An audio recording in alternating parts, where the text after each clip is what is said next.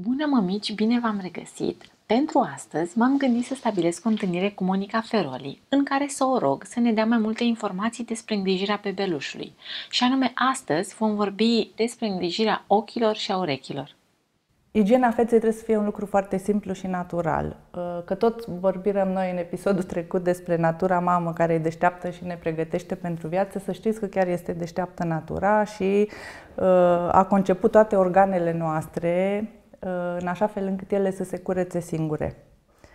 Adică ochii lăcrimează ca să se curețe, nasul produce secreții mucoase ca să se curețe și să curețe interiorul nasului acolo, Ehm, saliva aia clătește, dizolvă, diluează ceea ce avem noi în gură și uh, înghițim în tubul digestiv, lucrurile își urmează cursul și așa mai departe. Organele genitale se curăță singure prin secrețiile alea care ies de acolo. Cu alte cuvinte, chiar e, organismul nostru e foarte bine pregătit pentru uh, viață.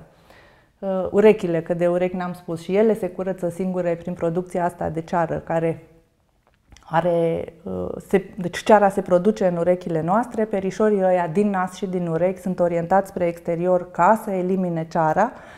Uh, a băga bețe în urechi este o greșeală pentru că bețele schimbă sensul acestor uh, perișori și atunci noi împingem ceara acolo și asta nu e un lucru bun. Hai să începem cu urechile atunci, dacă tot am atins subiectul ăsta. Uh, mamelor, dragilor, nu vă feriți de apa în urechi.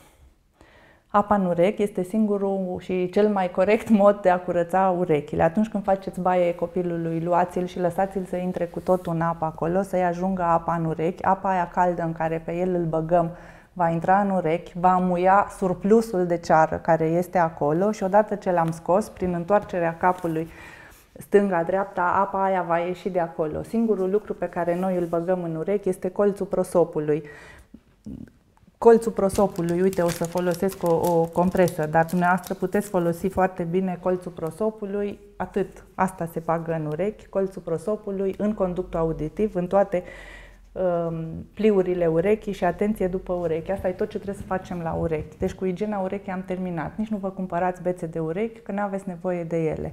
Imaginați-vă, gândiți-vă logic, acest și de fiecare dată când noi introducem bățul ăla de urechi în urechea copilului, într-un conduct auditiv care e atât de mic în gust, uneori mai mic decât este diametrul acelui băț de urechi, noi împingem de fapt ceara aia acolo înapoi, strat cu strat, aia se întărește și uite așa facem copii cu dopuri. Mai mult de atâta, faptul că eu pun acolo bățul ăla sus, jos, îl introduc și îl scot, prin frecare, eu stimulez producția de ceară pentru că acel conduct auditiv își dorește să se apere de această agresiune și atunci va produce ceară, pentru că asta știe de la natură să se curețe, să se spele, să se ferească de corp străini.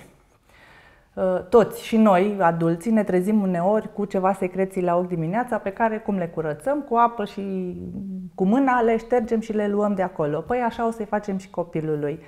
A agresa ochii, nasul și gurița copilului cu ser fiziologic zi de zi este o mare, uh, un abuz.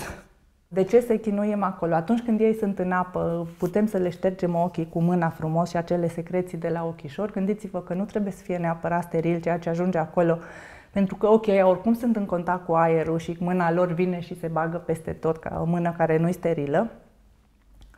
Uh, atunci când se sfârșește baia, Uh, bebelușului trebuie neapărat clătit cu apă curată. Momentul în care eu îl ridic pe bebe deasupra apei la cădiță și tati vine și toarnă cu stropitoarea sau cu dușul apa aia curată, ăla este momentul în care eu pot să-i spăl ochișorii. Cu mâna liberă, pur și simplu, îl curăț acolo de eventualele secreții. Numai în cazul în care acești ochi secretă și secretă și secretă acolo se adună niște, niște depuneri, e nevoie să le curăț și să vin suplimentar cu uh, apă sau cu ser fiziologic, cu ce vreți voi. Dacă secrețiile acelea sunt galbene spre verzui, atunci pot să folosesc ser fiziologic în încercarea de a curăța cât mai bine locul ăla și de a nu aduce alți microbi acolo. Deci numai ăsta este momentul în care eu curăț ochii suplimentar.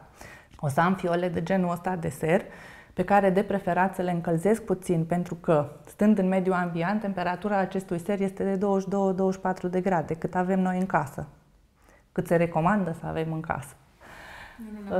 Copilul nostru are o temperatură constantă de aproximativ 37 de grade, ori aici e o diferență mare de grade, de la 22 la 37 și atunci dacă eu îi pun serul ăsta rece în ox, ar putea să plângă și din cauza asta, nu numai că îl agresez. Și atunci de preferat să fie calde, se păstrează într-un pahar cu apă caldă, așa, fiolele, ca să se încălzească și lampa asta călduț, dar atenție să nu fie fierbinte, și o să trebuiască să puneți serul ăsta fiziologic în ochișorii copilului și atunci va trebui să-l țineți cu mâinile ca să nu vă dea peste mâini. Îl țineți cu palmele de căpșor și îi turnați în felul acesta acolo ser în, în ochișori și îl lăsați.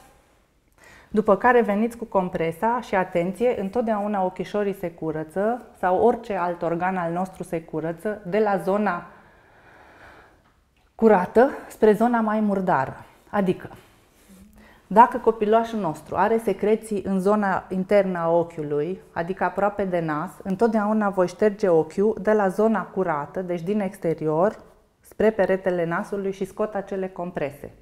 De ce fac lucrul ăsta? Dacă secrețiile ar fi la colțul extern al ochiului, va trebui să fac invers. Pentru că ar fi o prostie ca eu să iau cu compresa secrețiile care sunt la colțul ochiului și să le însămânțez la fiecare geană și să le întind pe tot ochiul. Întotdeauna voi curăța de la zona curată spre zona murtară, exact cum ne uh, curățăm bebelușii în zona genitală, la fetițe mai ales, așa cum fac și fetele adulte.